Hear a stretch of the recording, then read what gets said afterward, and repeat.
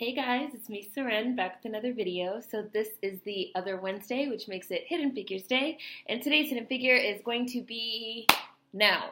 This woman has a French name, and there are a lot of French names and words in reference to a lot of her accomplishments. You guys know that I can barely pronounce shit in English, so please forgive me if I butchered this in French, and let me know how to pronounce it in the comments.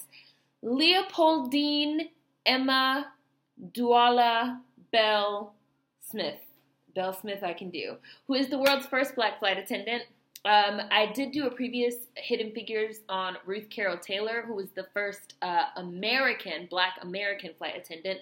But Leopoldine Emma Doualla Bell Smith was actually the first uh, global. She was the first black flight attendant in the world, and she flew one year before uh, Ruth Carol Taylor. So I, I wanted to do this video on her.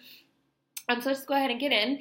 Uh, her aviation career took off early on when Doualla Bell Smith, a princess of the royal family of Cameroon, accepted an after school job as a ground hostess with UAT, which was the Union, ooh, here we go with the French, de Transports Aériens or UTA, the airline that, along with Air France, served France's African routes. Because at the time, uh, Cameroon was owned by France. She stayed on for two years and, after graduating from high school in 1956 at the age of 17, was recruited and sent to Paris for flight training by Air France. In 1957, Smith began flying as a stewardess with UAT, which would later merge. excuse me to be part of the UTA, and Smith at the time didn't know that she was making history as the first black person to serve as a flight attendant for any airline. Taylor's initial flight took place on February 11th, 1958, yet again, Smith's took place in 1957.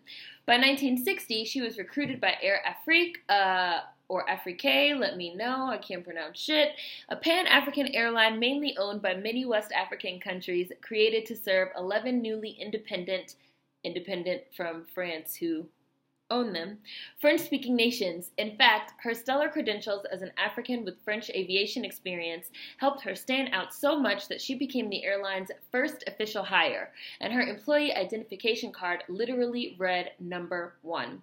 It didn't take long for her to get promoted to Air Afrique. I think that's Afrique, right? Air Afrique's first cabin chief position. During her time as a flight attendant, Smith flew throughout Africa and as far away as Australia. Because of the color of her skin, some white passengers treated her like an outcast, but dark skinned passengers often welcomed her presence. Smith also experienced frequent sexual harassment in addition to racism, and on one occasion, she slapped a white man who had touched her breasts. In 1969, after 12 years as a flight attendant, Smith left Air Afrique to become manager of Reunited Transport Leaders Travel Agency in Libreville, Gabon. Gabon? G A B O N? Am I saying that right? Let me know. Six years later, she relocated to Washington, D.C. to study English at Georgetown University, where she also met her American husband, Leroy Smith. Smith returned to Gabon in 1976, where she was hired by Air Zaire as station and officer manager at the Libreville airport. Smith also supported the Skål Club, now known as Skål International, which is the International Association of Professionals, Leaders, and Friends who were seeking to promote travel and tourism in Africa. And this woman is also known for doing just like a lot of philanthropic work and different types of work around like promoting air travel and tourism in Africa. That's like her thing. Smith and her husband moved to Lima, Peru in 1983 for a Peace Corps assignment, and while there, she remained in the travel industry and worked as a travel consultant. Smith and her husband retired in 2003 and moved to Denver, where they established the Business and Intercultural Services for Educational, Travel, and Associated Learning BICETAL, which encourages on site education about Africa and other non Western cultures. Smith also volunteers at Denver International Airport through their ambassador program, welcoming visitors to the Mile High City and assisting them to find their way through the airport.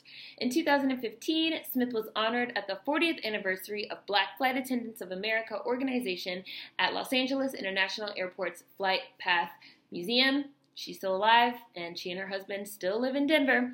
Uh, and I'm going to go ahead and read you guys this quote. When I was young, there were only white men and women working on the plane, she remembers. They were rude. They would tell me not to touch them or not to touch their things. I would just walk away and help other people. Because that's all you could do with these white motherfuckers. Leopoldine Emma Doualla Bell Smith, a hidden figure.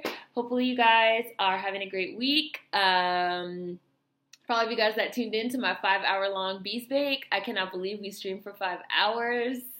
We were just really having a good time. Uh, always had so much fun with you guys, and can't wait to see you again in the next live stream and in the next video. And I think my computer is stuck. Can you guys hear it making that noise?